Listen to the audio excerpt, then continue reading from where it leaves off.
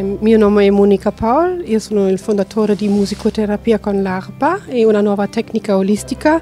Lei vede qui un lettino è sotto un'arpa con 112 corde e fa la, io faccio trattamenti individuali ma anche la formazione per tutti gli aperti del settore sanitario o olistica e mm, basa sul sapere di Masaru Emoto e anche su Virchow. Virchow ha fatto le differenze sulle hertz, um, 4, uh, 32 e 440.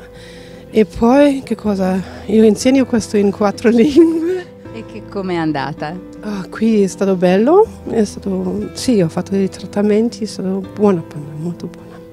No, devo ringraziare proprio.